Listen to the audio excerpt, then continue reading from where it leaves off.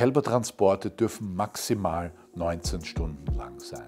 Bei diesen 19 Stunden braucht es mindestens eine einstündige Pause unterwegs, eben um die Kälber zu füttern.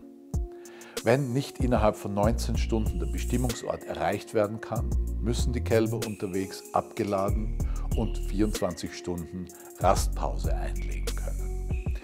Im Normalfall sind die LKWs für den Transport nicht für Kälber ausgerüstet.